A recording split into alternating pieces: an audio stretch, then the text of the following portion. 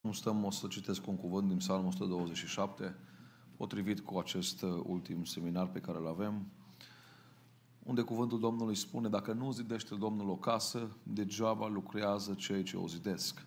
Dacă nu păzește Domnul o cetate, degeaba veghează cel ce o păzește. Degeaba vă sculați de dimineață și vă culcați târziu ca să mâncați o pâine câștigată cu durere, căci prea iubiților lui, el le dă pâine ca în somn. Iată, fiii sunt o moștenire de la Domnul și rodul pântecelui este o răsplat dată de El. Ca săgețile în mâna unui războinic, așa sunt fiii făcuți la tinerețe. Ferice de omul care își umple tolba de săgeți cu ei, căci ei nu vor rămâne de rușine când vor vorbi cu vrășmașii lor la poartă. Amin. Prin Harul Domnului am vorbit aseară despre principiile familiei, în prima parte azi dimineață despre pericolele familiei și astăzi vreau să ne uităm, iubiții mei, la puterea familiei. Bineînțeles, aici putem să mergem pe foarte multe domenii, dar am vrut să mă opresc și la această putere de a da naștere la copii, de a-i primi pe copii, de a educa și de a face din ei niște săgeți care să-și atingă o țintă precisă. Asta spunea psalmistul aici, fii sunt o moștenire de la Domnul și ca săgețile în mâna unui războinic sunt fii făcuți la tinerețe. Iubiții mei, patru aspecte pe care vreau să le subliniez despre copii și apoi, bineînțeles, legate de puterea aceasta a noastră să influențăm. În primul rând, copiii sunt proprietatea lui Dumnezeu. Copiii sunt proprietatea lui Dumnezeu. Uh, Citesc câteva dovezi din Biblie în acest sens. Patriarii, de exemplu, recunoșteau că Dumnezeu este în controlul nașterilor. Geneza 31, dacă poți te rog să afișez versetele pe care le voi citi pentru câteva minute. Geneza 31, când a văzut Rahela că nu face copii lui Iacov, a pismuit, a invidiat pe soră sa și a zis lui Iacov, dăm copii, ori mor. Și ascultați, vă rog, răspunsul lui Iacov. Iacov s-a mâniat pe Rahela și a zis, sunt eu oare în locul lui Dumnezeu care te-a oprit să ai copii?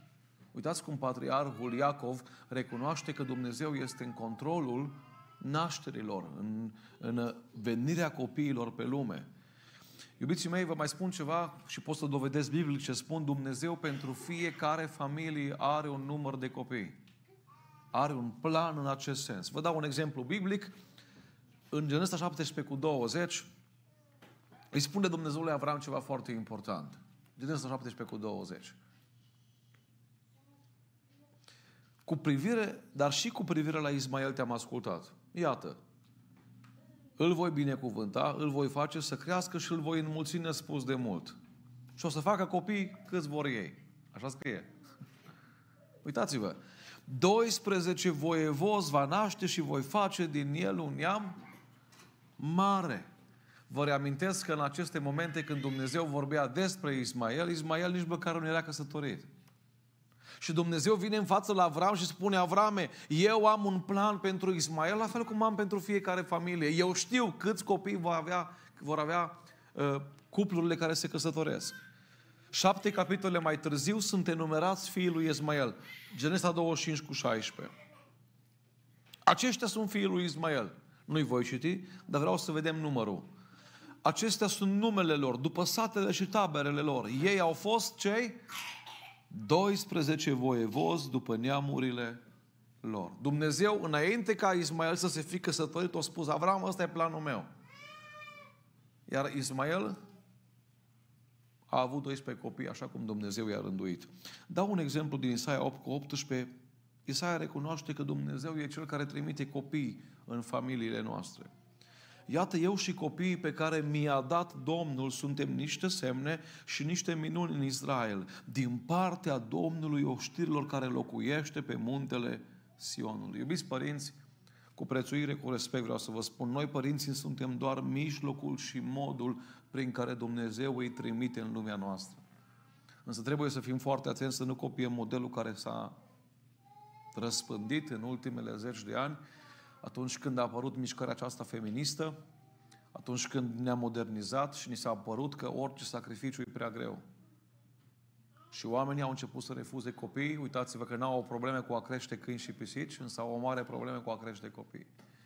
Vă citesc o mărturie a unui vas de lucru pe care l-am cunoscut personal, a plecat la Domnul Veșnicie, a fost o soră, prorociță, a folosit darul prorociei peste 40 de ani, fără greșeală, fără uh, să o bage de la ea sau să dea de la ea, o soră care a vorbit din partea Domnului, a avut o experiență care mie și soției mele ne-a dat mult de gândit și vă citesc cuvintele ei motamo ca să nu greșesc. După al șaselea copil, am rămas tare slăbită și anemică din cauza că adeseori aveam slăbiciuni la inimă, dureri de ficat și fiere și nu puteam mânca aproape nimic.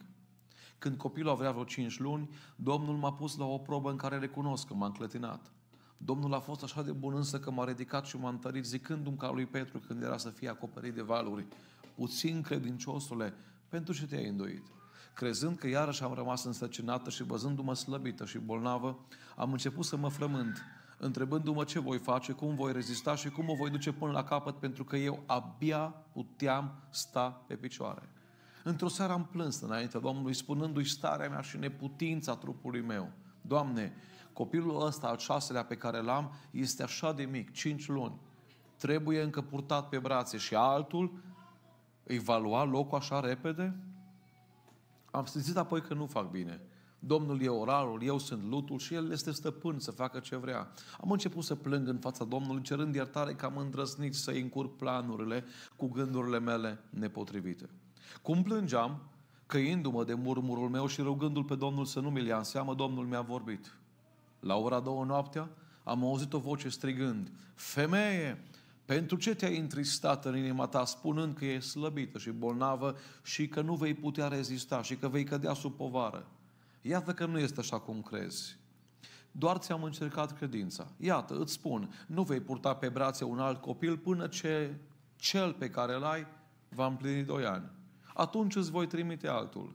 Dar iată, mai sunt mulți copii cu care, pe care am hotărât să-i trimit pe pământ și privesc în familii unde să-i trimit, căci mulți se împotrivesc nașterii de copii. Iar mamele cu mulți copii plâng înaintea mea și suspină că le este greu și cad sub povară. Nimeni nu le ajută și nu mai pot duce greul pe umeri.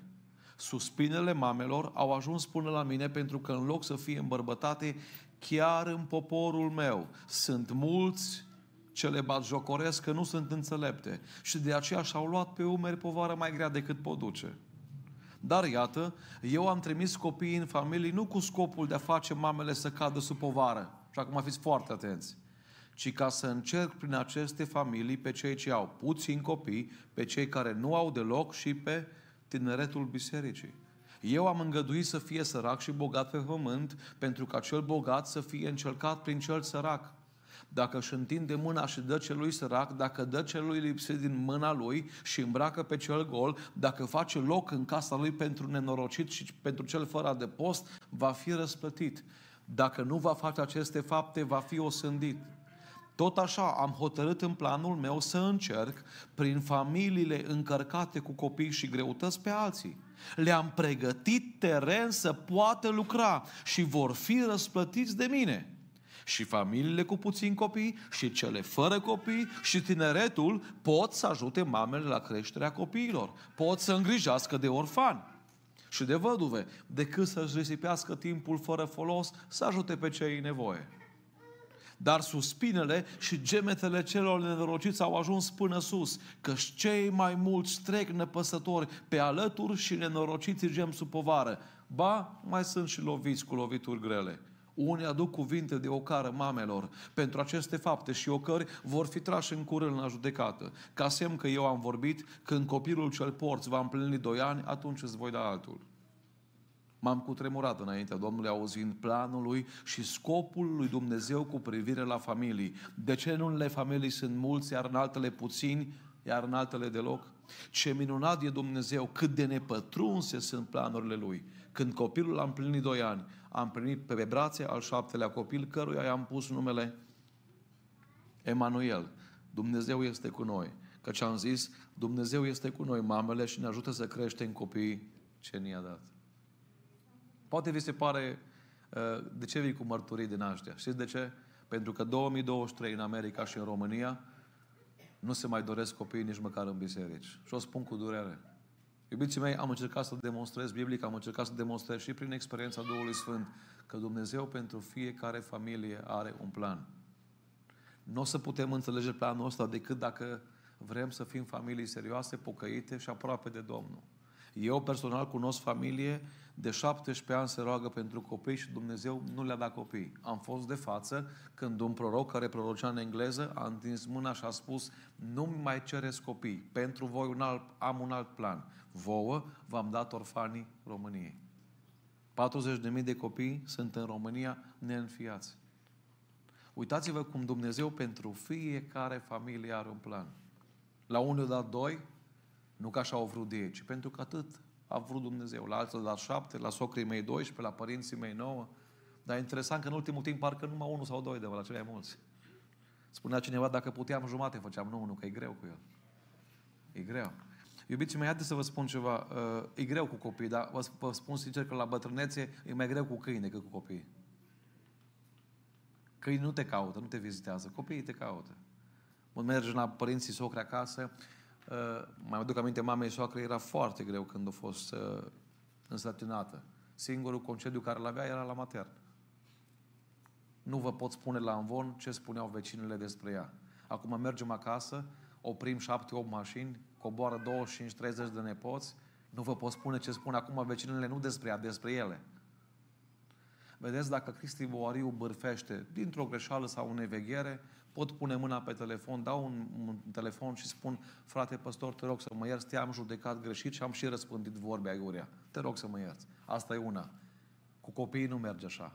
La copii este o vreme când pot să fie acceptați. Și e bine să înțelegem planul lui Dumnezeu, pentru că după ce a trecut vremea asta, nu mai poți să faci nimic. Iubiții mei, am acest îndemn din partea Domnului. Știu că nu este o predică la care o să dați like, poate, Însă ceea ce vreau să vă spun este copiii sunt programați de Domnul și pentru fiecare familie Dumnezeu are planul Lui. Și trebuie să înțelegem că a rămâne în ascultare contează enorm. Și a putea să dai ochiul Dumnezeu în ziua de către să spui, Doamne, patru ai vrut, patru am primit, șapte ai vrut, șapte am primit. Da, e adevărat că e greu, nu e ușor. De fapt, cu cât crește confortul, cu atât scade dorința de sacrificiu. Uitați-vă să vedeți. Mama soacră e din Vicov. În Vicov, în urmă cu 670 de ani, zona Bucovinei, și catolicii, și ortodoxi, și pocăiții aveau 8, 10, 12, 14 copii. De ce? Era o frică foarte mare de Dumnezeu. Iubiții mei, nu insist foarte mult la acest subiect. Cred că am putut să spun ce am avut de spus. O spun ca și un om cu o soție care se sacrifică și ne sacrificăm și am primit copiii ca o binecuvântare de la Domnul. Ce pot să vă spun este că frații care iau mărturisiri, cele mai dese mărturisiri luate de la surorile în vârstă este următoarea. Îmi pare rău că n-am primit copiii de la Domnul cât s-o vrut Dumnezeu. După 1-2 am renunțat, n-am mai vrut să am bătăi de cap și acum trebuie să plec în veșnicie și conștiința mă macină și mă pasă. Vă dau o veste bună, cea mai bună perină în viață este o conștiință curată. Să putem spune, Doamne, și în acest domeniu am făcut voia Ta. Merg mai departe spunându-vă că tot ce vine de la Dumnezeu este pândit de diavolul. De aceea diavolul va căuta ție ca și părinte să-ți dea absolut orice îți dorești cu o singură condiție, să-ți distragă atenția de la copilul tău. Diavolul nu va dori ca tu să te ocupi de moștenirea lui Dumnezeu și tu să investești în moștenirea respectivă. De aceea diavolul luptă pe mai multe fronturi. Uitați-vă să vedeți, dacă, dacă diavolul reușește să nu fie născut copilul, pentru el e un câștig. Dacă se naște, să fie părinții ocupați să n-aibă timp de el. Dacă crește, să fie cumva biserica ocupată, să n-aibă timp să se implice în biserică. Cu orice preț diavolul caută asta. Vă readuc aminte, iubiții mei, pentru că și copiii sunt ai Domnului, ni se va cere socoteală în ziua când vom pleca de aici de felul în care i-am crescut. De fapt, oamenii de mâine nu sunt altceva decât copiii de astăzi. Și întrebarea care vreau să vă las la primul punct cât de mult ne ocupăm în fiecare zi de moștenirea lui Dumnezeu. De moștenirea lui Dumnezeu. Părinții, de fapt, nu vor putea crește copii pentru Dumnezeu dacă ei înșiși nu au o relație puternică cu Dumnezeu. Judecător 13 cu 8 Manoah a făcut Domnului următoarea rugăciune. Doamne, te rog să mai vină odată la noi omul lui Dumnezeu pe care l-ai trimis și să ne învețe ce să facem pentru copilul care se va naște. Aceasta este, iubiții mei, relația corectă. Părinții învață de la Dumnezeu, iar copiii învață despre Dumnezeu de la părinții lor. James Dobson spunea ceva foarte frumos. Odată ce copiii au apărut, ei trebuie incluși cu orice preț în programul nostru zilnic. Noi nu trebuie să-i ajustăm pe ei în funcție de programul nostru, ci trebuie să ne ajustăm programul nostru în funcție de ei. Doamne, ajută-ne la asta. Mă duc mai departe și vreau să mai învățăm ceva, iubiții mei, astăzi, vorbind de puterea familiei, vorbind de arcașul acela care își încordează arcul și aruncă săgeata. Să nu uităm, copiii sunt niște săgeți. Nu spune Cristi Boriu, asta spune Biblia. Copiii sunt niște săgeți. Iar săgeata, cu părere de rău vă spun, este făcută ca să zboare. Săgeata este făcută ca să zboare. Mai devreme sau mai târziu copiii tăi vor părăsi căminul tău. Fie că îți convine, fie că nu, vei primi o invitație la nuntă. Și nu o să-ți vină să crezi că e copilul tău, fata ta sau băiatul tău. Și trebuie să mergi și să asiști la o rupere. La un moment când băiatul sau fata pleacă. În unele cazuri, de fapt, plecarea se face chiar și mai repede. Poate pleacă la o facultate, la un liceu, la distanță.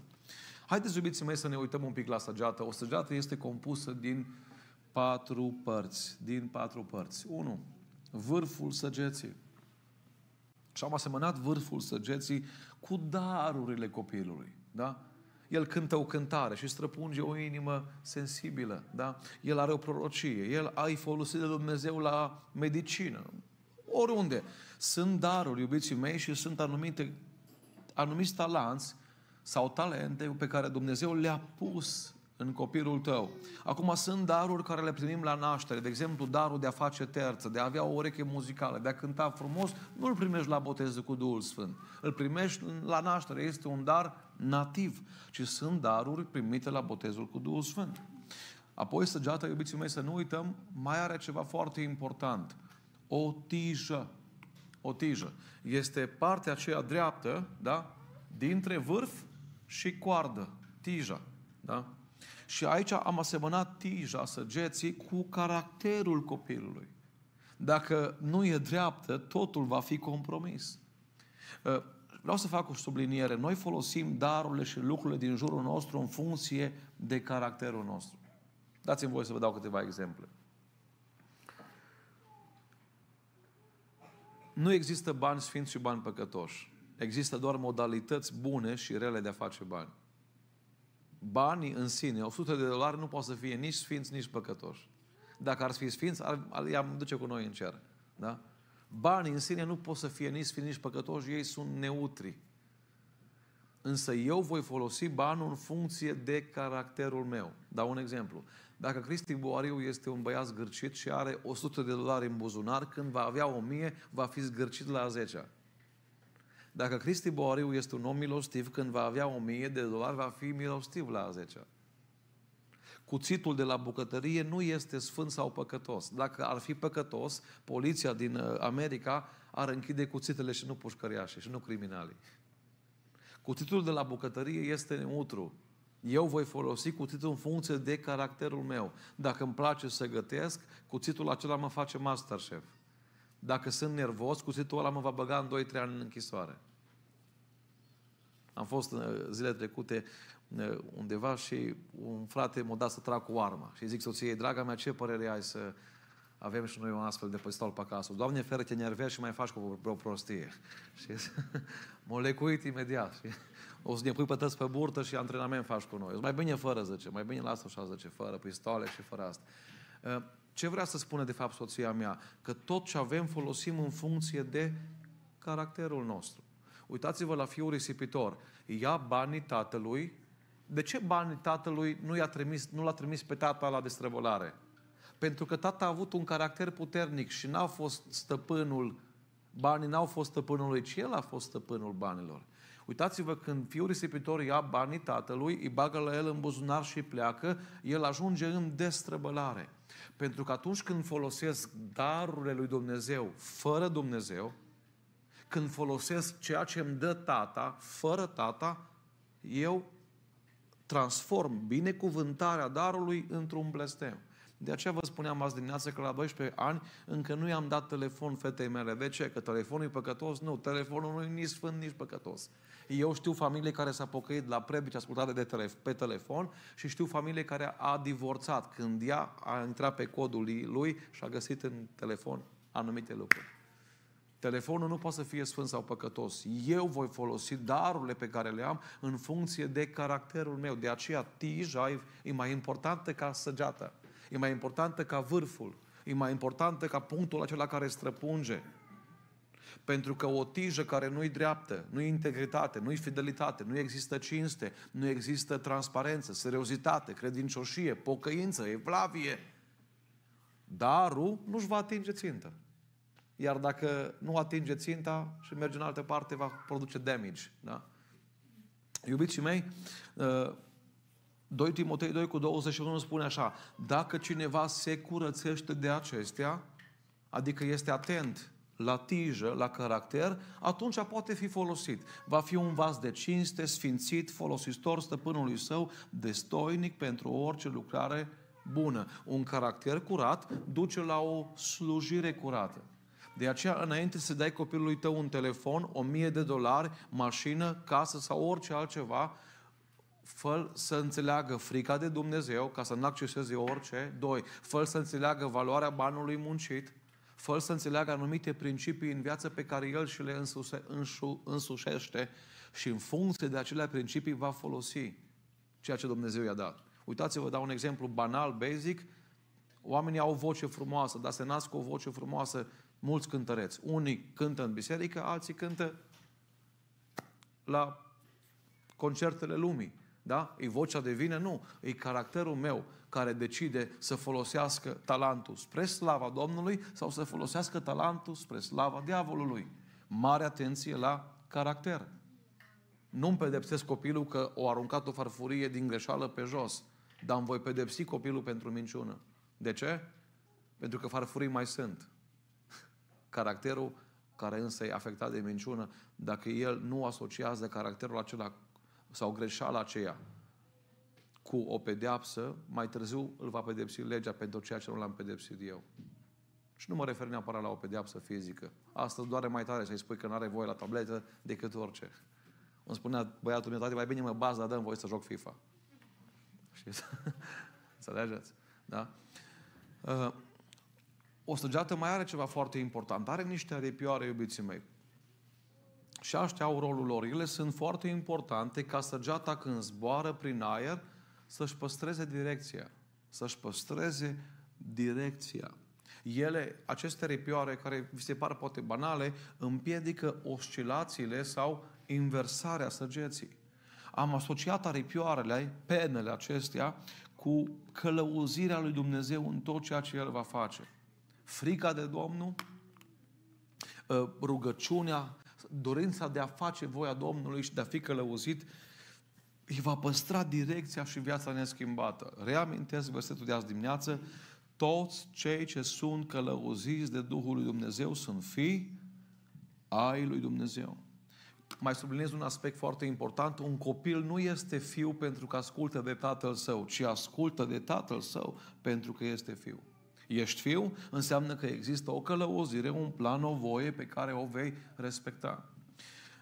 Un ultim lucru de, de care amintesc legat de săgeată este crestătura aceea din colț. În momentul când pui săgeata în arc, da, eu de fapt lipesc săgeata, o lipesc aici de coardă. Da? Crestătura.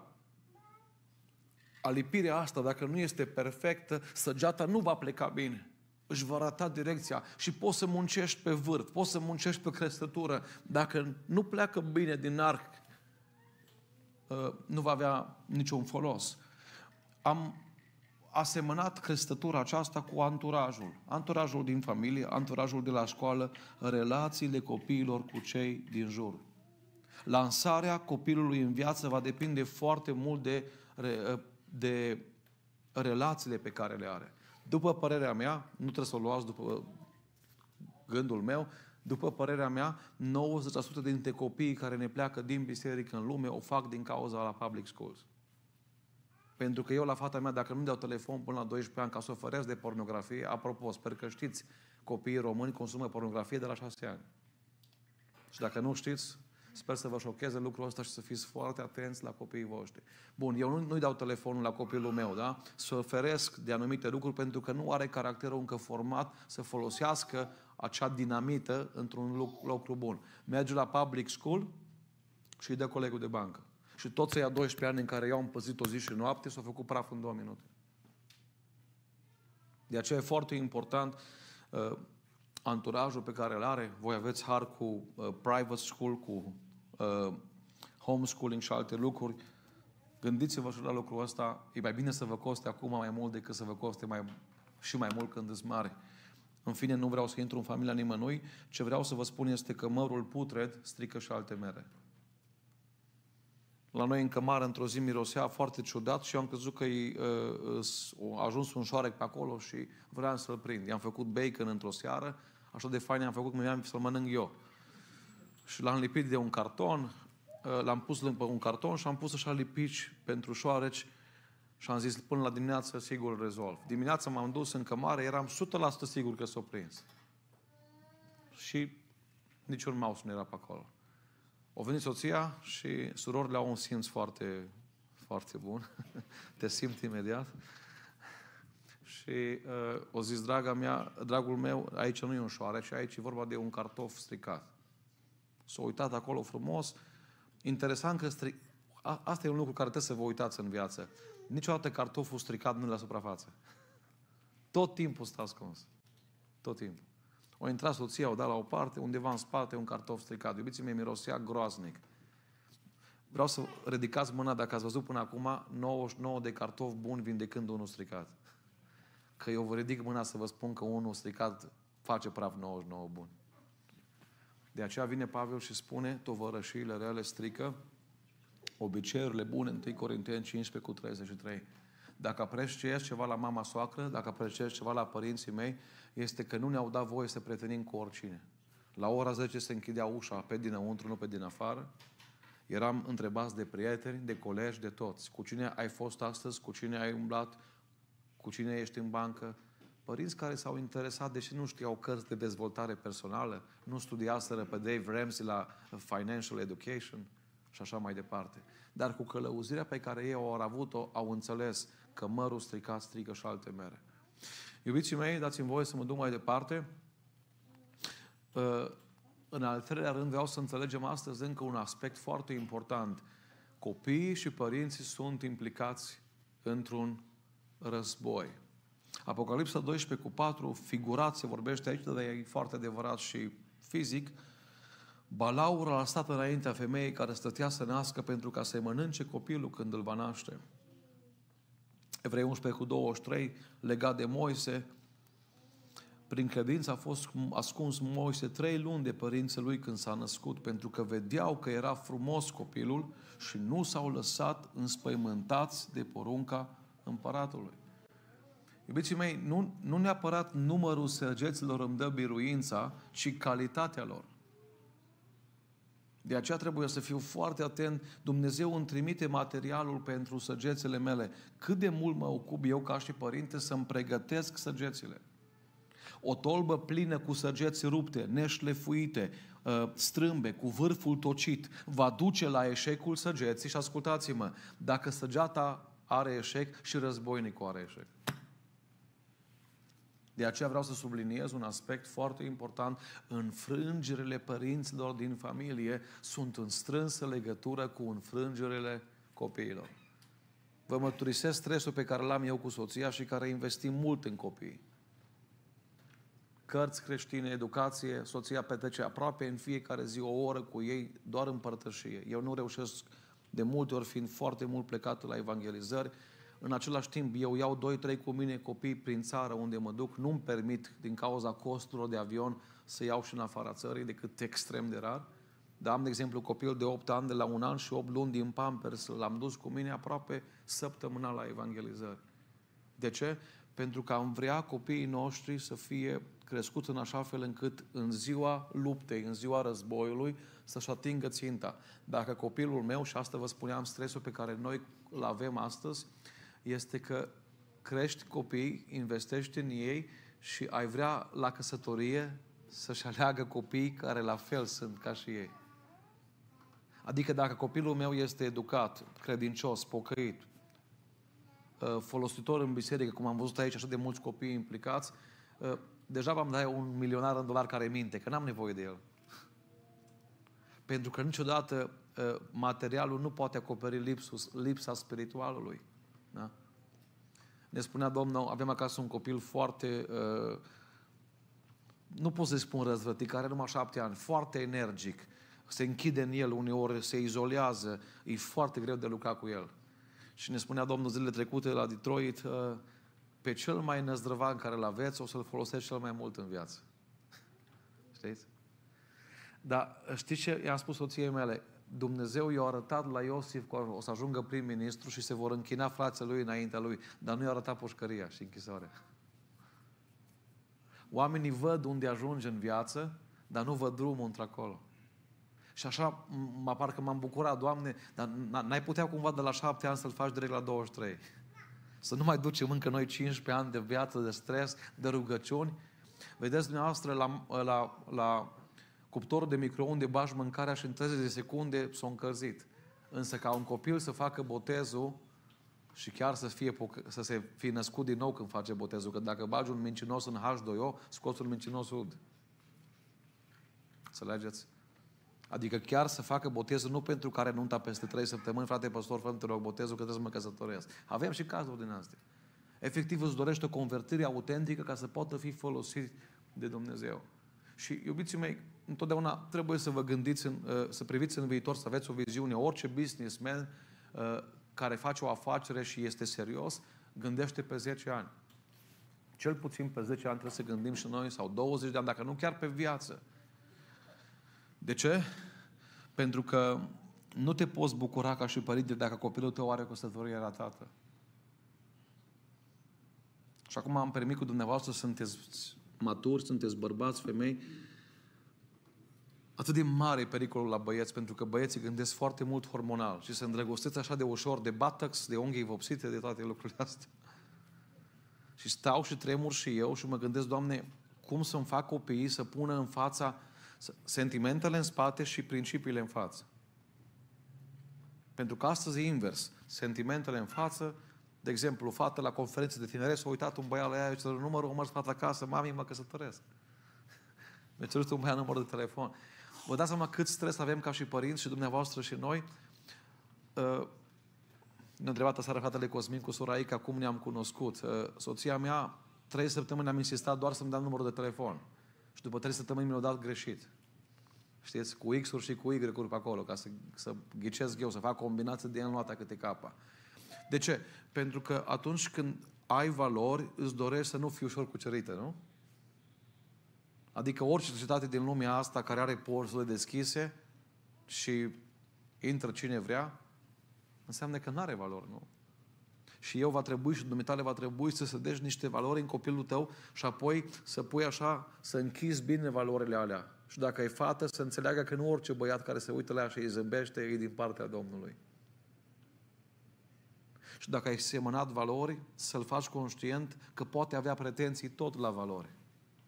Pentru că valorile noastre influențează deciziile noastre. De aceea, eu nu vreau să schimb deciziile unui om. Eu vreau să schimb valorile, pentru că dacă schimb valorile, schimb deciziile. Bucuriile părinților sunt strâns legate de biruințele copiilor. Ce bine e să vezi ca și părinte că Dumnezeu folosește săgeata pe care ai lucrat 20 de ani și o folosește spre slava Lui. Mi-aduc aminte, mama mea ne ducea de câte 3, 4, 5 la biserică. Tatăl meu n-a venit cu noi mai multă vreme. Apoi când am primit eu Duhul Sfânt la 14 ani, a venit și tatăl meu cu noi la biserică, la Pentecostali. Și suntem așa bucuroși ca și băieți, ca și fete, să putem răsplăti sacrificiile lor. Îmi spunea mama mea, Cristi, 10 ani am umblat uh, cu cizme în care au intrat apa ca voi să aveți Adidas noi, să aveți tenis noi. Și acum prin slujirea noastră, prin ceea ce avem, putem să răsplătim efortul părinților și bineînțeles că ei n-au nevoie să le trimiți bani prin MoneyGram, dar văzând că Dumnezeu te folosește, ei au o mângâiere, că săgeata și-o atins ținta. Iubiții mei, părinții sunt asemănați cu războinicii. Oare îți dai seama că se dă un război pentru tine și pentru familia ta? Poți să stai indiferent când știi că diavolul urlă să-ți fure copilul? 1 Petru 5 cu 8, fiți stres și vegheați, pentru că potrivnicul vostru, diavolul, dă târcoale ca un leu care răgnește și caută pe cine să înghită. Și o imagine imorală semănată într-un copil de șase ani. Am, am citit despre cel mai mare criminal din istorie, nu să vă spun numele lui, că nu vreau să îl căutați. El a fost întrebat de unde a început totul și el a răspuns de la poze imorale, de la pornografie. M-am dus tot mai adânc, nu mă mai satisfăcut nimica decât să omor oameni. Dar cum de la niște fotografii poate să se ajungă așa adânc? Da, pentru că suntem într-un război. Și sămânța pe care eu o sem în ziua, diavolul vrea să-l ia noaptea. E așa de groaznic să te gândești că sunt părinți în ziua de astăzi care habar n-au că sunt într-un, într război. Iubiții mei, uh, câte ziluri de rugăciuni înălțăm ca să ne protejăm familia de, rugă, de atacurile diavolului prin rugăciune? Câte zile de post? Mai subliniez ceva, părinții ar trebui să vorbească cu Dumnezeu despre copiilor înainte ca să vorbească cu copiilor despre Dumnezeu. Soția mea a întrebat recent pe o soră cât de mult v-ați rugat pentru căsătoria copilului dumneavoastră. Și ea a spus, recunosc, nu prea m-am rugat. Soția mea uh, a fost împreună cu ceilalți frații ai ei, de mici, se rugau pentru căsătorie. Atât părinții se rugau, cât și copiii erau uh, chemați să investească în viitorul lor. Iubiții mei, uh, cu ce ne-ar ajuta să avem toți banii lumii, toate pământurile din America, are Bill Gates destule, dacă copiii noștri sunt înghițiți de lumea aceasta. Ieremia 13 cu 17 spunea profetul, dacă nu vreți să ascultați, voi plânge în ascuns pentru mândria voastră, mi se vor topi ochii în lacrimi, pentru că turma Domnului va fi dus în robie. Ieremia vedea amenințările care îl, îl pândeau poporul și a spus Ieremia, eu nu pot să stau liniștit dacă o să mă găsiți în post să nu fiți surprinși. Dar să, că dacă o să mă găsiți pe genunchi, să nu, vă, să nu mă întrebați de ce. Pentru că Ieremia a văzut robia ne paște. În doi împărați patru merge o femeie văduvă, a murit soțul și cei care, cel care i-a împrumutat a venit să ia copiii robi. Și mama asta merge la Elisei și spune, ce să fac? Ca copiii mei să n-ajungă robi. La, nu știu cum e în America, n-am apucat să vizitez un cimitir, însă în România pe multe mormânturi scriu minciuni a fost robul Domnului. Dar el a fost robul lui Bergambir, a fost robul băuturii, a fost robul imoralității, a fost robul minciunii, a fost robul Xbox-ului, știți, sau a telefonului. Ce frumos ar fi să ne trăim viața în așa fel încât ceea ce va scrie pe crucea noastră să fie un adevăr. În Romani 1 cu 1 spune Pavel, Pavel, rob și apostol. Eram la cineva acasă, apropo de bătălia asta în rugăciune, și m-am pus undeva la masă într-un colț, eram cu cămașa audă după predică și am zis stau undeva lângă sobă ca să nu răcesc. Și gazda a venit și mi-a spus, Cristi, vezi că stai pe un loc sfânt. M-am uitat la covor, am crezut că e de la Ierusalim sau... Ce, ce e un, sfânt, un loc sfânt? Bun, înțeleg că la biserică spui că e locul sfânt. Dar de ce acasă e locul sfânt? Și fratele care ne-a găzduit în această seară a spus, de Cristi, eu am fost un rebel, un copil care n-a vrut să asculte, Însă am avut o mamă care în fiecare seară când eu ieșeam la droguri, la băutură, la alte lucruri, mama mea nu mai putea să mă pedepsească. La 16-17 ani ce mai poți să-i faci? Însă mama mea, când eu ieșeam din casă, se punea pe genunchi. Doar atât îmi spunea. Când o să vii, o să mă găsești aici. Frate Cristi, mergeam la 10, ieșeam, 10 jumate, 11, pe la 3, 4, 5 dimineața mă întorceam. Și mă, mi-era jenă, mi-era rușine, știam că intru în casă și eu m-am distrat 5-6 ore și maica mi-a să ruga 5-6 ore. Într-o zi ea a plecat în lumea asta.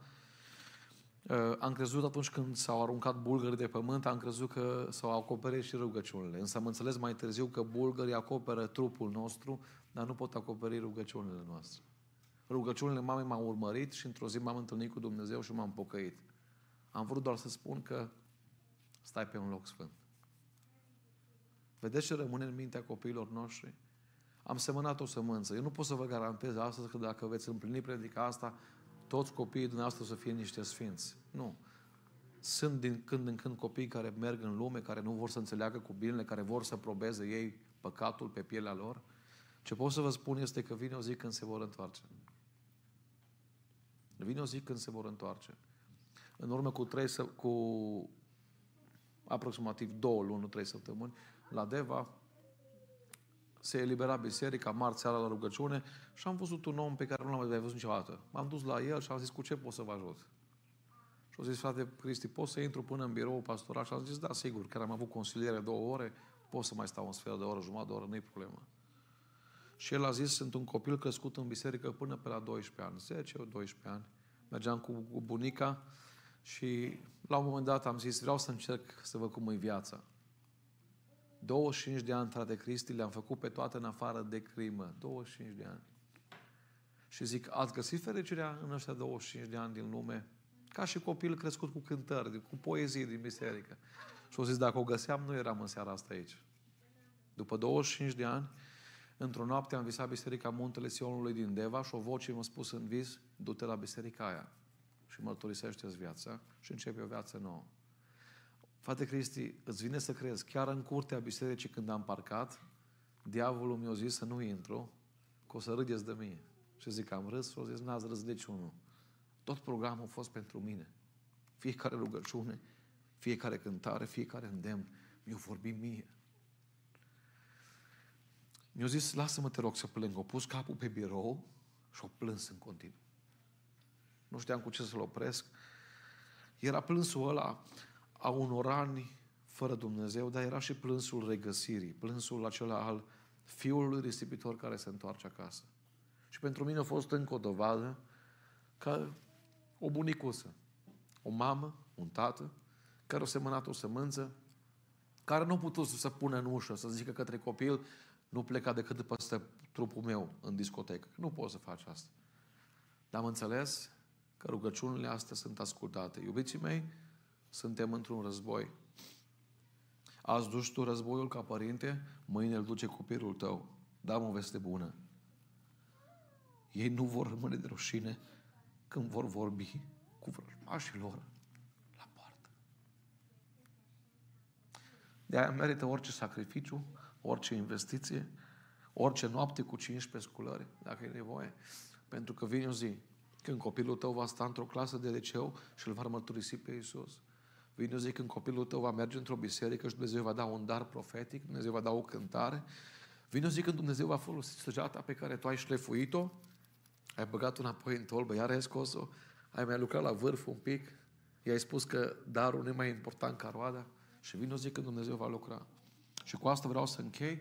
În al patrulea rând, să nu uităm, copiii pleacă spre o țintă. Războinicul stabilește ținta săgeții, în coordonare cu generalul care transmite planul de luptă și poziția inamicului, nu? Adică, bun, eu ca și părinte sunt un războinic, pregătesc săgeata să plece, dar nu trag la întâmplare. Nu trag după o frunză, că dacă, dacă o să trag, uitați-vă la David, un lucru interesant. David merge să lupte cu Goliat și Eliab se leagă de el, plin de invidie, plin de mândrie. Ascultați-mă, știți cine o să vă acuze de mândrie în viață? Oamenii mândri. Eliab se uită la David și spune, îți cunosc eu mândria și răutatea inimii. Dar de fapt el vorbea din ale lui, că fiecare vedem prin ochelarii noștri. De aceea omul sincer suferă cel mai mult în viață, pentru că are impresia că toți sunt sinceri. Și descoperă mai târziu că nu e chiar așa. Iubiții mei, ce e important la David, David nu a luat pietre și le-a pus în praște să tragă în Eliab. Va trebui să-ți înveți copilul să nu-și consume muniția cu frații. Pentru că noi nu avem de luptat împotriva cărnii și sângelui. Noi avem de luptat împotriva duhurilor răutății care sunt în locurile cerești. Ca și părinte, ai o mare influență în a-ți determina copilul ce vrea să facă în viața aceasta. De aceea e foarte important primul punct. Dacă tu ca părinte înțelegi voia Domnului pentru copilul tău, îl vei putea crește în așa fel încât el să-și atingă ținta. E adevărat, acum ca și mamă sau ca tată îi strâng pe toți 3, 4, 6, 8 lângă mine, cu toți fac un psalm, cu toți fac o rugăciune, ca la școală. Toți fac în scăderi și împărțiri, ridicare la putere și radical și la un moment dat la liceu sau la university, fiecare merge pe are diferite, dar are baza. Va avea nevoie de 2 plus 2 și dacă e doctor, și dacă e avocat, și dacă e builder. Da? Baza trebuie să o aibă fiecare. Mi-am de o mamă cu șapte copii din România, au trăit într-o sărăcie lucie și mama când uh, copiii erau mici, foarte multe rugăciuni, uh, doar asta se ruga. Doamne, vreau copiii mei să aibă bani. Doamne, vreau copiii mei să aibă bani. O spun cu durere, astăzi toți au bani, niciunul nu-i mântuit. Niciunul nu-i pocăit. Tu ca și războinic stabilești ținta. Nu-i păcat să ai bani, să nu mă înțelegeți greșit.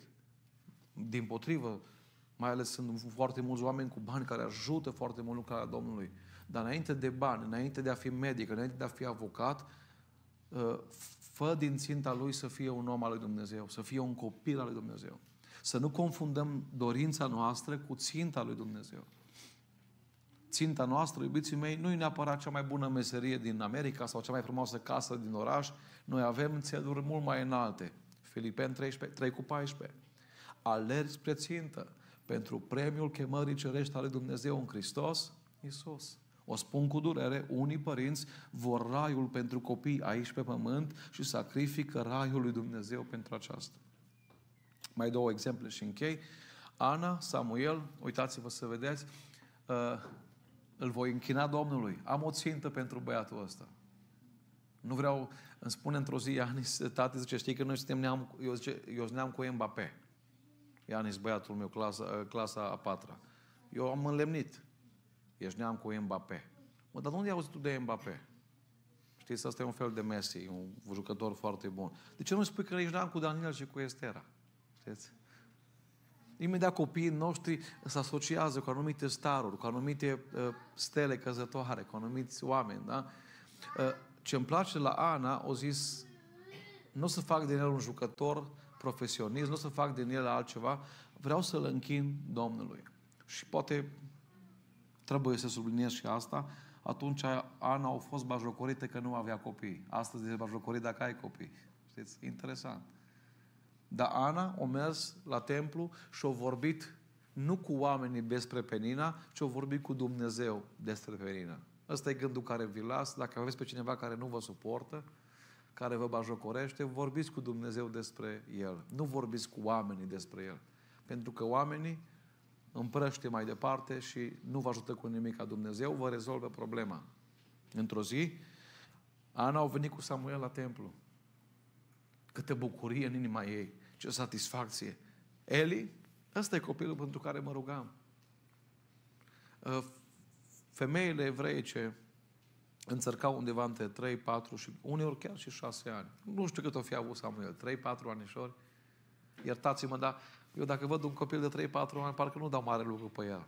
Ce frumos e că Dumnezeu nu vede ca și mine. Într-o noapte Dumnezeu îl strigă pe Samuel. Să fie avut 4 ani, 5 ani. Dar dai la, dai la un copil din ăsta un mesaj profetic? Că îi spune el a doua zi să-mi spui tot ce a spus Domnul azi noapte. Am un gând pentru mame.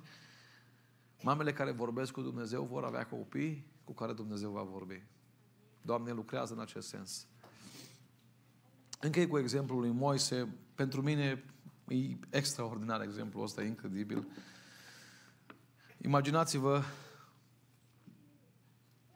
momentul acela când faraon a zis toți copiii evreilor să fie aruncați de la naștere în Nil.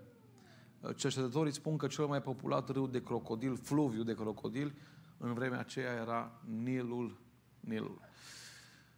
Nu a fost un lucru ușor. De fapt, ce vor să facă faraon, iubiții mei, a, a vrut ca într-o singură generație fetele evreilor să nu mai aibă băieți din poporul evreu care să se căsătorească, erau obligate în sensul ăsta să ia egipteni, într-o singură generație, în 40 de ani, evreii s-ar fi contopit cu egipteni.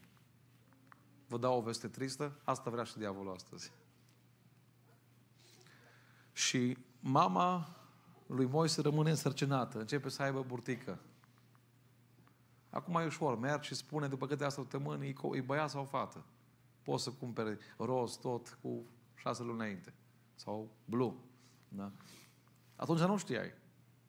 V-ați gândit cu ce stres o sta părinții ăștia până în momentul nașterii? Câte serii au vorbit dacă e băiat, ce facem? Bun, dacă e fată, lăsăm să trăiască. Dacă e băiat, ne riscăm viața? Ascultăm de faraon sau de Dumnezeu? Și când au născut moașele, au spus, este, it's a boy. Este băiat. Trei luni de zile a fost ușor, cât de cât. Problema este că în, în timp ce băiatul creștea, creșteau și plămânii. Și băiatul ăla a început să plângă mai tare și nu erau condițiile noastre de astăzi, pampers, suzetă. Am văzut aici la voi uh, și din ăla care leagă singur. Poate să stea mama să facă cumpărături pe telefon și copilul nu are nicio problemă. Nu aveau lucrurile astea, iubiții mei. Nu erau atunci așa ceva. Și apropo, gândiți-vă în ziua de cât ce răspundere avem noi față de astfel de mame. Ce condiții au avut ele și au primit copiii. Ce condiții avem noi și poate ni se pare greu uneori. Într-o zi vine acasă Amram, uh, tatăl lui Moise, soțul lui Iochebed, și o vede pe mama cu o grămadă de nuiele. Dar ce faci? Îmi plătesc un coșuleț. O vine ziua când trebuie să-l punem pe Nil. Și l-a pus pe Nil, cel mai populat fluviu de crocodili.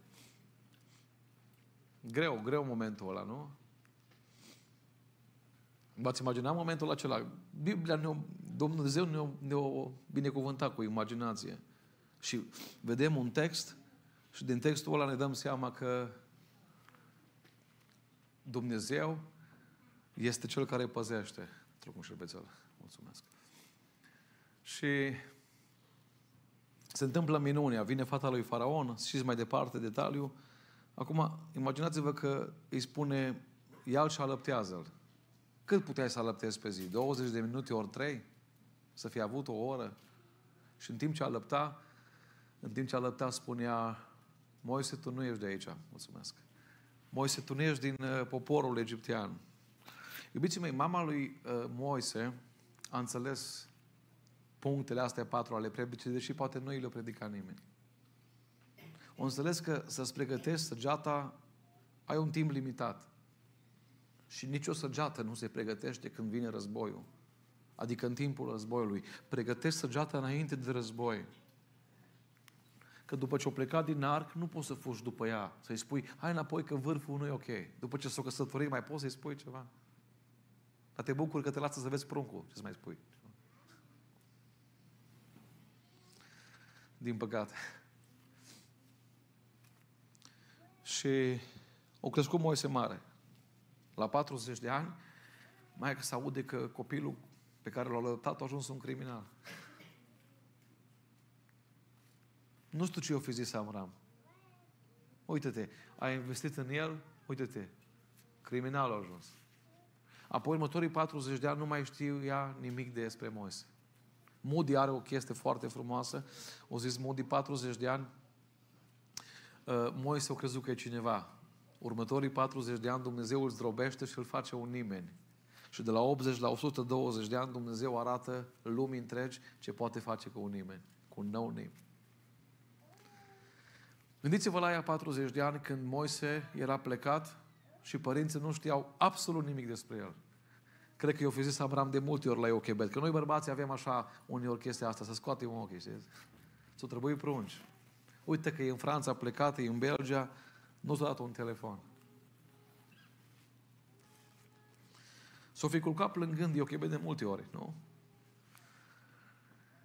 Iubiții mei, vă detaliez lucrul ăsta pentru că dacă citești textul așa, pentru noi e ușor să citim textul că știm ce urmează, dar ei nu știau ce urmează. Știți? Adică te uiți la cei trei tineri, băi, da, au stat în Valea Dura că Domnul a fost cu ei în cuptorul de foc, da, dar ei nu știau că Domnul va fi cu ei în cuptorul de foc. Te uiți la Iosif în închisoare, da, păi normal că a fost pocăit în închisoare, că urma să fie prim-ministru, dar el nu știa că va fi prim-ministru. Gândiți-vă stresul ăla, 40 de ani, nu știi nimic de copilul tău. Săgeata au plecat. Și într-o zi, dintr-un burning bush, cum spuneți voi, se aude o voce. Și Dumnezeu îl strigă pe nume. Că lacrimile și sacrificiul și sămânța semănată de o tată sau de o mamă nu au cum să ne aducă roadă. Dumnezeu se poate ocupa ca săgeata să atingă ținta. Trec repede și ne rugăm. Se întoarce Moise în Egipt și Biblia spune că o chema pe bătrânii țării. Acum, printre cei bătrâni, eu cred că erau și părinții lui.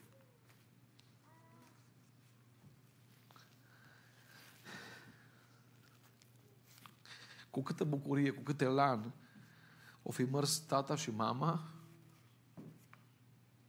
să-și vadă copilul. Și să uita Moise la ei și așa cred că le-au spus tate și mami, mulțumesc că n-ați făcut cum au făcut cei mai mulți. Nu m-ați aruncat în râu, cu riscul vieții, cu resurse puține, m-ați crescut, am o veste bună, am venit să vă duc în Canaan. Ce zi frumoasă, ce momente de preț. Imaginați-vă când au ieșit în noaptea aceea toți, au luat oale, ce ori apucat și în față era Moise. Și cred că Iochebed simțea cum inima din piept îi iasă afară de bucurie. Știți cine era din față? Copilul meu.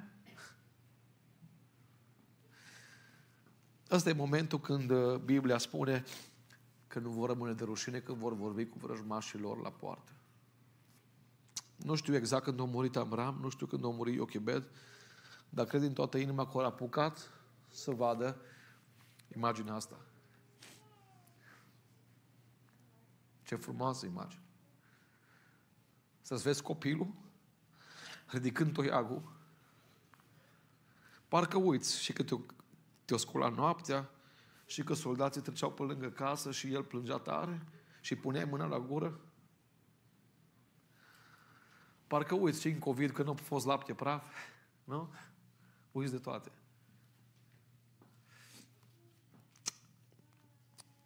Mi-a făcut o bucurie să vă slujesc. Am simțit pe Domnul prezent în biserica voastră. Îmi doresc din toată inima și eu și voi să ne vedem copii așa. Folosiți de Dumnezeu. Uh, atunci când vor pleca ca și săgeată, nici, nici n-ai cum să-i urmărești prea mult, nu? Să poți să-i urmărești doar cu rugăciuni și să știi că copilul meu acolo unde e, la Washington, la Boston, în Florida, la facultate, I don't know. Să știi că e în brațul Domnului. Să știi că ai semănat ceva. Niciunde în Biblie n-am văzut că eu pot să fac să crească. N-am văzut că pot să seamăn, pot să ud. Și Dumnezeu e cel care face să crească. Vreau să facem o rugăciune, iubiții mei, pentru copiii noștri, pentru familiile noastre, pentru această putere care Dumnezeu ne-a dat-o de a da naștere la copil, de a-i crește, de a-i șlefui, de a-i pregăti pentru viață și mai mult decât orice putem face noi, o mână nevăzută să facă restul. Amin. Vă invit să ne rugăm și la final să mulțumim Domnului.